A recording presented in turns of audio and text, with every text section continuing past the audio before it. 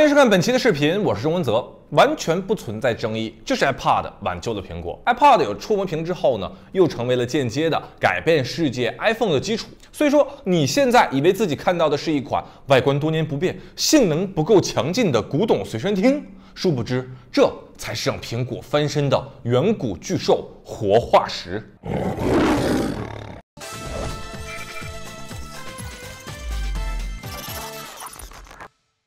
这其实还是一个四英寸的版本，也就是 iPhone 五进化之后的产物。在那个年代，还被人揶揄成说是带鱼屏。当年苹果费了好大的劲，从 iPhone 4S 三点五英寸升级到了四寸的 iPhone 五。我到今天还记得那个广告呢，说屏幕变大了，但是还是可以单手握持，手指覆盖全屏幕。From this to this，今天屏幕尺寸和 iPhone XS Max 一比啊，眼看着也就四分之一那么大了。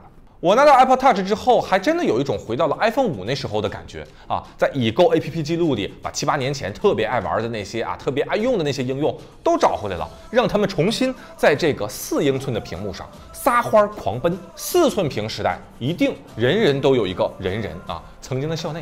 各种查找小学喜欢，但是后来没有故事的女同学，一定会装一个倒数日，记录着距离 iPhone 发布已经多少多少天。一定会有一个天气通啊，或者墨迹天气。那会儿的 iOS 天气预报根本不能和 HTC 比，因此催生出了一大批主打优雅画面的第三方天气 App。一定会装一个糗事百科，一度是最优质的论坛。那会有一个印象笔记，当时最好用的云笔记应用。四英寸的单机游戏世界比现在可精彩多多了，可玩性简直是手机游戏的黄金时代。那会儿的游戏不用多复杂的操作，只靠一根手指滑动就能够玩几个钟头的愤怒的小鸟啊，水果忍者、神庙逃亡。比如说只靠重力感应就能够玩 Doodle Jump、Mega Jump。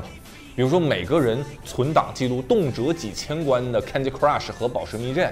那个时候，四英寸的世界集合了我大概是最珍贵的手机游戏回忆。这些应用根本无视屏幕尺寸缩小，因为压根儿不需要精细的操作，依然能够获得极佳的使用体验。那么，当时间来到了二零一九年，四英寸的屏幕体验到底如何呢？首先，Apple Touch 的手感非常的好，应该是 iPhone 最经典的那个前面板的设计，包括当年的这个机械 Home 按键，Johnny Ive 最擅长的边缘弧线处理。加上六点一毫米的厚度和八十八克的重量，真的真的很轻薄。新推出的火龙果配色特别适合男生，火龙嘛，尽显阳刚之美。iOS 十三对于非旗舰的优化性能非常的好，A10 Fusion 还继续能打六十帧运行王者荣耀就跟玩儿似的。这个小玩意儿还支持 AR，那孩子可以举着 iPad 看个恐龙，大人呢也可以拿 iPad 摆一个宜家的家具。不过太复杂的 AR 场景会出现发热和卡顿。打字四英寸，我现在觉得很小，刚上手各种不适应，很难想象自己曾经在 iPhone 五上曾经健字如飞。但是 iOS 十三的滑动输入还是挺省事儿的，其实还是拼音输入法，但是滑来滑去就让我觉得，哦，我很炫酷。不得不说，这小家伙的硬件和今天的旗舰手机肯定是没法比的。拍照还没有进化到自动 HDR 那一代，还没有光线感应器，你调亮度还得手动操作，经常会有一种强光在外面，哎呦我瞎了吗？关灯在屋里，哎呦我去我瞎了啊这样的感觉。现在越来越多的应用将操作界面按照大屏幕设计，因此当缩小到四寸屏之后，就会出现布局拥挤啊按键过小的情况。实际上我在体验这款设备的时候所得出的结论是，如果你是一个智能手手机用户，那么 Apple Touch 就不适合你，因为你不管你用的手机是苹果还是安卓，在和 Apple Touch 对比中，你手中的那款通常都有着更大的屏幕、更好的拍照、更强的性能，以及出门有信号。没有信号这部分呢，可以用大存储来找不找补，对吧？因为有二百五十六 GB 存储，因此你可以下载很多很多很多的 Apple Music。所以说，把智能手机用户排除掉的话，剩下的自然就是没有手机的那部分群体。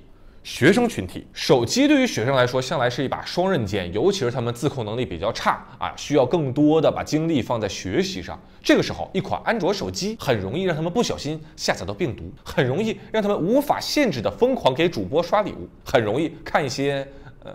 不能让人把主要的精力放在学习上的视频。而对于学生群体，一款四五千元的 iPhone 则可能换来妈妈的一句“我看你像个 iPhone”。但是学生又需要一台电子设备去适当的玩游戏、适当的听音乐、适当的从社交网络上获取信息，以及疯狂的查阅电子学习资料啊！至少你跟你妈是这么说的。在这个时候，拥有可能是全宇宙最强管控能力的 iOS 十三代表队向我们迎面走来了。通过屏幕使用时间，家长可以轻而易举地控制学生使用设备的时间、打开应用的时间、发微信的时间，以及阻止一些奇奇怪怪的内容啊！你说想用 Safari 访问奇奇怪怪的网站，对不起，你没有 Safari 了。你说想用应用商店下载其他浏览器访问奇奇怪怪的网站，对不起，你没有应用商店了。大概就是这么个意思。Apple Touch 可以完成家长对孩子的每一个精细化的管控目的，借着买文曲星、玩贪吃蛇的日子一去不返了，真正的实现了妈妈再也不用担心我的学习了。要不说现在的孩子。